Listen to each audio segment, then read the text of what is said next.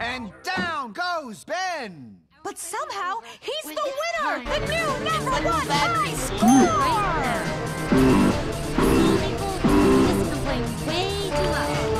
Oh, don't worry, I know how this works. I take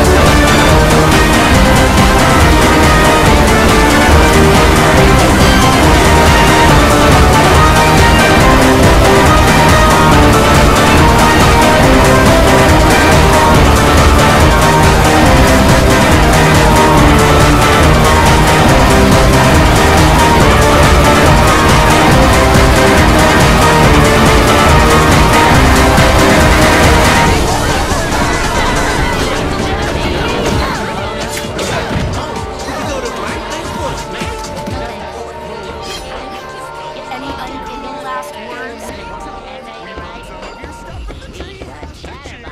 Can't easy that I'm busy. Look, I know this is a bad time, but I'm gonna need that rent money. Seriously, whose vulture is this?